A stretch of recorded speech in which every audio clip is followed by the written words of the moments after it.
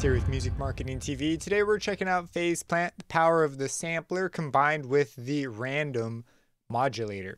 So here I've got this patch. It has a hi-hat sample inside of it. And I've got this bassline background with some strings. And this is going to randomly generate a bunch of interesting, weird movement uh, at a part where I think, you know, I want another element to come in and I wanted to have this sort of glitchy randomness to it. And so uh, let's just take a quick listen here.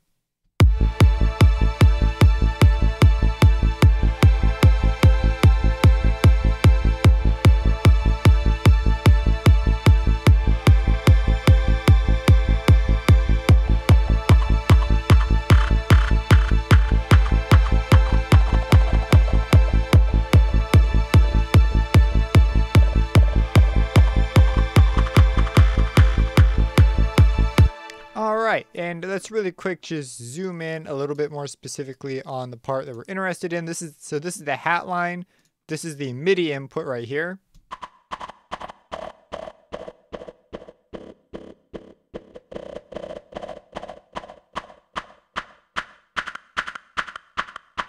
And no two times are ever exactly the same. Now I've tamed this back a bit, and originally what I wanted to do was make an entire like drum loop generator using this method.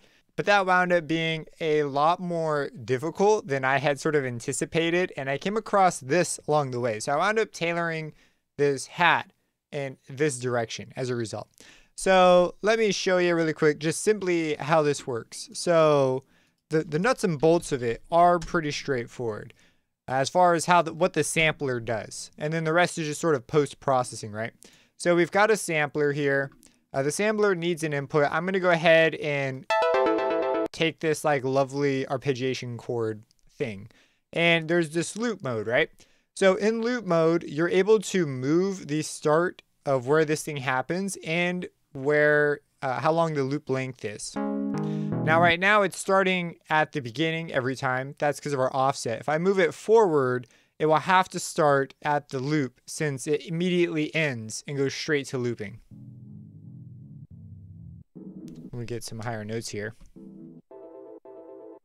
If we play really short loop lengths, and let's start where it's a bit louder here. If I have a really short length, we end up getting a pitch instead. There are quite a few plugins that have powers like this, uh, using various ways of sort of messing with it.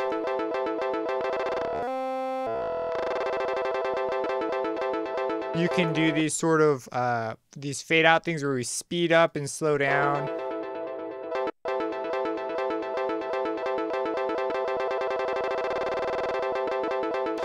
There's a crossfade option if you don't want the clicking. So if we go very, very, very close, it's to happen real fast. It fades that out. And that's because, right, we have these clicks. If we look, uh, there's actually a gray, you can see right here, this, these gray lines. That's the crossfade. Basically acts like a filter when we're doing stuff that's this short. When we get longer, it's a, a smooth volume change. Uh, so that's the basics of how this works. Now, my idea was, hey, I'm going to take this, I'm going to put a random module on it. I decided to go for smooth and I wound up settling somewhere a little bit in between because I don't want just totally random in between values. It makes more sense if once it's picked a random value, it hovers around that random value for longer. And we can do this by setting it to a sync. So you can see now it sort of picks one at a rate and then moves around. Uh, or you could have a very, very, very slow value, which I believe is the method I ended up settling on. Uh, so you can go ahead, you can tame this however you want. But what I did was I went ahead and set this for the start. So now this will begin to move. Am I going the right way? It should be moving here. And then I also put one here on the length. So then when we play notes, it'll pick a random starting in length.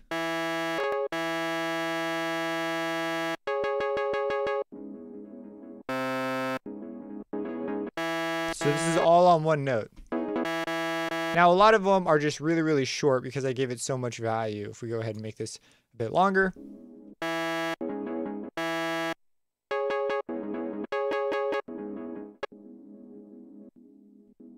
you can get some really, really nice things. In fact, let's go ahead. Let me just write in some MIDI for it. I was already on a blank pattern, so that's perfect.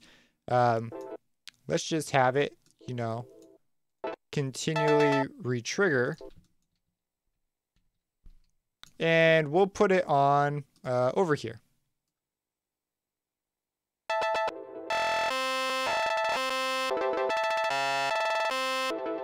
And let's see if we can't rein this in a bit.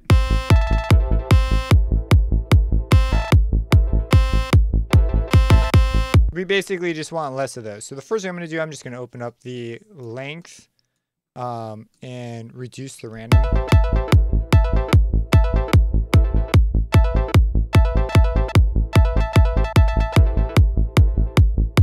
And then away you go. From here, the something that tends to work well when you do something like this is if you add a delay and you also put a, a, uh, a filter after.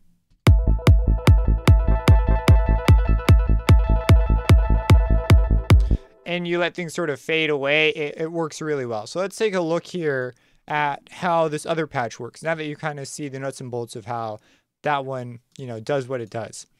So, and that's the other thing. You could do this with way more than just uh, hats and drums and things. Uh, that's why I wanted to show a chord because the chord ones and tonal examples can wind up just being super cool. So here I've got this hi-hat sample uh, by itself. That's what it sounds like. So obviously not by default what it sounds like. If I were to play it without any effects and just have it go through, we've just got the randomness happening.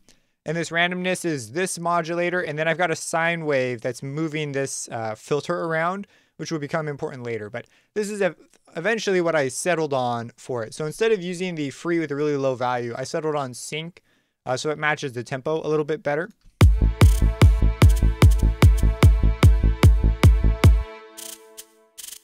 So that's without any effects. No effects. And it's using the exact thing. I turned on loop. You can even mess with the different modes. Uh, they, they can produce some interesting results. Uh, but I just left it on the default mode and then have the start and length moving around. I did have it attached to some macros because it is really nice that you can sort of move it into more extreme ranges and out of extreme ranges via automation. But it's not an idea I've completely explored uh, musically yet. But it, it was where I was going next.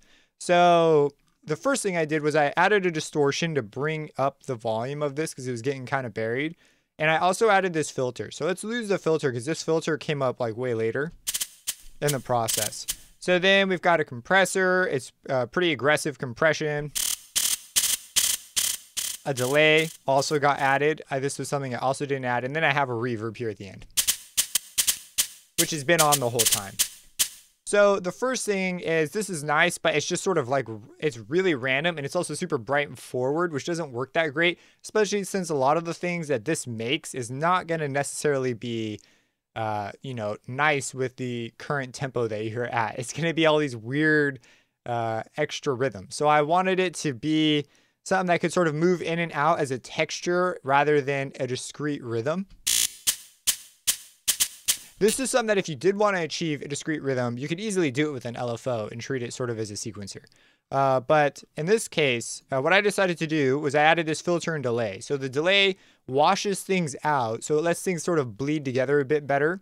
And then I have a filter here, and this filter has a very, very high Q value. It's filtering out a lot of the high end, and it's moving around subtly. And that's what the LFO is. We have an extremely slow LFO, and its only job is to move it in this range. And this was roughly the range that I, I thought sounded really good when I was moving it by hand. Uh, now we could automate this, uh, but I actually found that this this does a really good job. Uh, I, I didn't feel the need to have to automate this. Instead, I could have it built in. Yeah, so you get these nice sweeping things.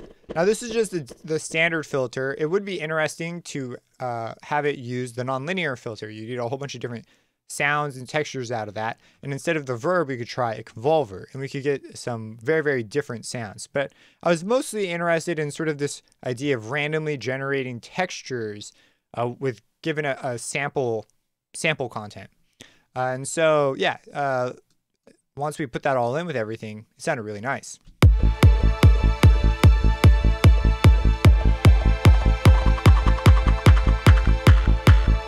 Now, the MIDI, the MIDI was a bit of a tricky one. Uh, I tried really, really thin textures, and I found that this tended to work the best. So, uh, given there is a, you know, an echo happening, a delay, uh, I found that this reinforcement tended to work really well. If I, if you do every single one, it, it builds up a lot easier.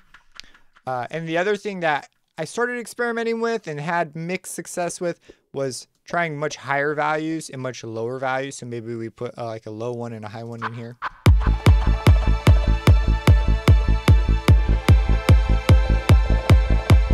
And this is something where sometimes it sounded great, other times it didn't sound so great, and you definitely had to be sparse with it. But there's some there's a lot of options for the long game for keeping the background sort of always changing, but having something there over just having like a really long sample recorded that I think is uh, very appealing to this. The next thing, obviously, I was experimenting with was trying to just swap this out with tonal samples. So you can actually, uh, we'll lock the loop and we'll grab this sample here and we could just try out different samples.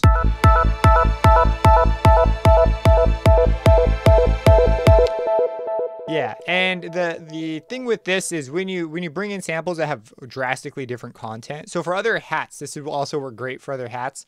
Uh, but when you grab, you know, sample content, you're going to want to be uh, changing the length and start and sort of putting things in the range that'll work better for those.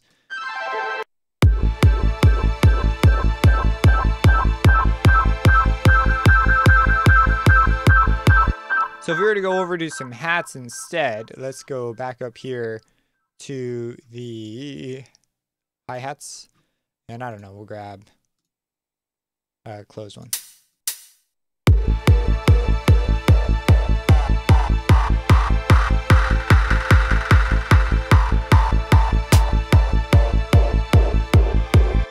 Let's find one that's got a... Oh, there we go. That one's got sort of a weird thing at the start.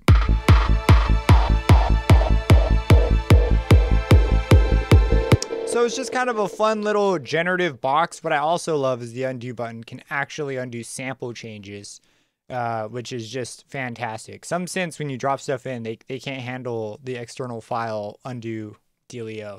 And so when you do something like that, it's kind of a, you better keep track where that original one was or you're stuck.